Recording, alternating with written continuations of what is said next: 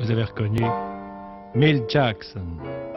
Mill Jackson est le plus grand vibraphoniste au monde. Il est à Paris pour quelques jours. Il a eu la gentillesse de venir à Paris Carrefour du Monde. Et accompagné par Jacques S. et Franco Menzecchi, je vous le présente non pas au vibraphone, mais je vous le présente au piano, où nous l'écoutons improviser. Voici Milt Jackson.